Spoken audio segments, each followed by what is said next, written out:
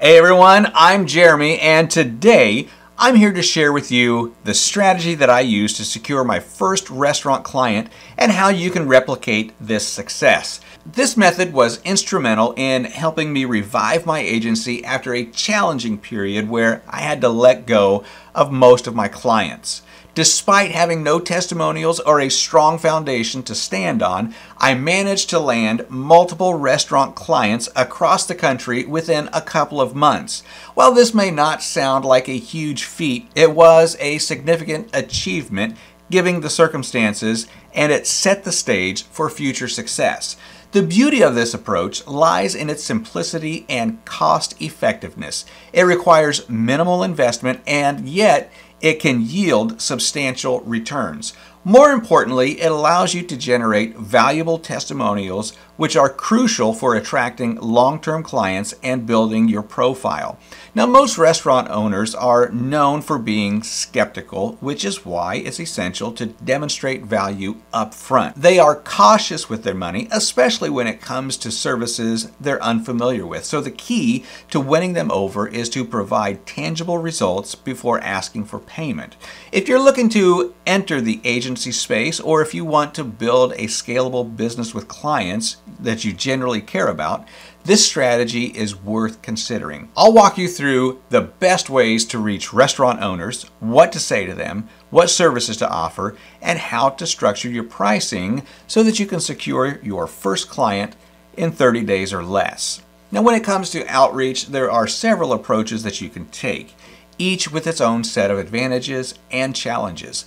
Broadly speaking, outreach methods can be categorized into four types. Now, these strategies include warm outreach, cold outreach, content creation, and paid advertising. If you're just starting out and don't have contacts or testimonials to leverage, direct outreach is your best bet. Personally, I found that in person outreach is the most effective, especially when dealing with restaurant owners. Many of them are inundated with direct messages and emails, so showing up in person can make a significant difference. Now, this approach not only sets you apart from the rest of the competition, but it also gives you the opportunity to establish a personal connection, which is something that many restaurant owners value. Now, when I was starting out, I prioritized in person outreach for this very reason. I would walk into restaurants and offer to generate reservations for them at no cost in exchange for a testimonial. Now, this offer is difficult for most restaurant owners to refuse because it provides them with immediate value without requiring any upfront investment.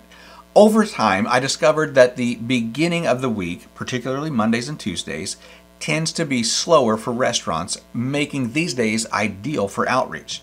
Now, by targeting restaurants during their slow periods, you can demonstrate how your services can help fill those empty seats, which is often one of the primary concerns. Sales, at its core, is a conversation. The more questions you have, the more information you gather, and the better you can tailor your offer to meet the specific needs of your potential clients. Rather than relying on a rigid script, I prefer to engage restaurant owners in a dialogue that allows me to understand their pain points and business goals. Here are some key questions that have proven to be effective. What does the beginning of the week look like for you? Now, this question helps you identify slow periods that you can target to drive more business to the restaurant. Question number two Are you running any promotions? If they are, this opens the door to discuss how they're currently promoting their deals and whether there's room for improvement. Question number three how are you getting your promotions out to customers? Now, this question is crucial because it reveals the methods they're currently using to reach their audience. Whether it's through social media, flyers, or in house promotions, it also highlights potential gaps in their marketing strategy that you can help fill. Another question would be what are you doing to get more people in the door? Now, this question encourages the restaurant owner to think critically about their current strategies and opens up the conversation for you to suggest some new methods. Another question you should ask is what's your average spend per customer? Now, understanding this figure allows you to gauge how much value you can potentially bring to the restaurant and helps you determine how much you can charge for your services. By asking these questions, you're not just gathering information, you're also demonstrating your expertise and showing that you're genuinely interested in helping the restaurant succeed. Now, this approach is far more effective than simply pitching your services, as it positions you as a partner rather than a vendor. Now, one of the most valuable assets that many restaurants have, but often overlook, is their customer data. If a restaurant uses reservation software like Resy or OpenTable, they likely have a substantial list of contacts that they're sitting on without fully utilizing. Now, these contacts represent a gold mine of potential business that can be tapped into with the right strategy. For example, one restaurant that I worked with had been open for a few years and had accumulated a list of nearly 12,000 customers. Now, these customers were not only active, but also recent, making them prime candidates for re engagement.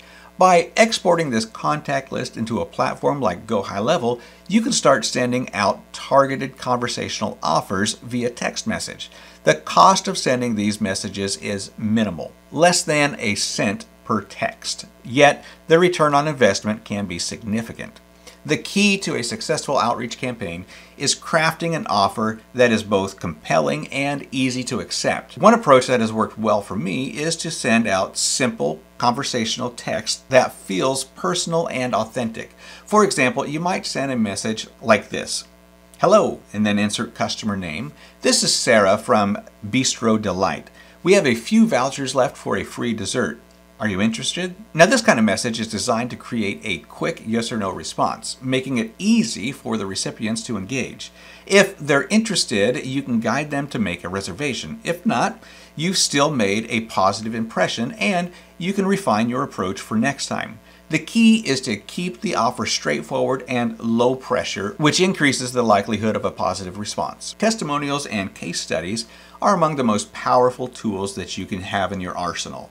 They serve as social proof and make future sales much easier by demonstrating that you have a track record of delivering results. Now, this is why I always recommend starting with a free or discounted service in exchange for a testimonial. It's a win-win situation. The restaurant gets to try your service at little to no cost and you get the social proof that you need to attract more clients. When you start working with new clients, take the time to document their current situation. Take screenshots of their Google reviews. Note how many reservations they're getting each month and track any other relevant metrics. Then, after you've implemented your strategy, document the results. This before and after comparison will be invaluable when it comes to convincing future clients of the value that you can provide. Now, when it comes to pricing, there are a few factors to consider. Initially, I found it beneficial to undercharge and overdeliver. While this may seem counterintuitive, especially if you're looking to maximize your income right away, it's a strategy that pays off in the long run. By charging a lower rate at the start, you can build a strong portfolio of case studies and testimonials, which will make it easier to attract more clients and justify higher rates down the line. As you gain more experience and start to build a client base, you can begin to expand the range of your services you offer. For example, you might offer to set up a reservation calendar for your clients, build a loyalty program, or create a weekly nurture sequence to keep customers engaged. These additional services not only add value to your clients, but also provide you with more opportunities to get to generate income. Now, one approach that I like to use is similar to the pricing model employed by subscription services like Spotify. Offer a free trial period to give your clients a taste of what you can do, and then transition them to a paid plan that includes more advanced features. For example, you might start with a basic plan that includes appointment setting and weekly promotions for 3 to $400 a month. Then if the client wants to grow their customer list and run ads to attract new customers, you can offer a more comprehensive plan for about $800 a month. Retaining clients is just as important as acquiring them, and one of the best ways to do this is by continually demonstrating your value. Restaurant owners are often skeptical because they're used to dealing with high costs and tight margins. They want to see that their investment is paying off, and that's where your ability to deliver results comes in. One strategy I use is to profit from text messages sent on behalf of my clients.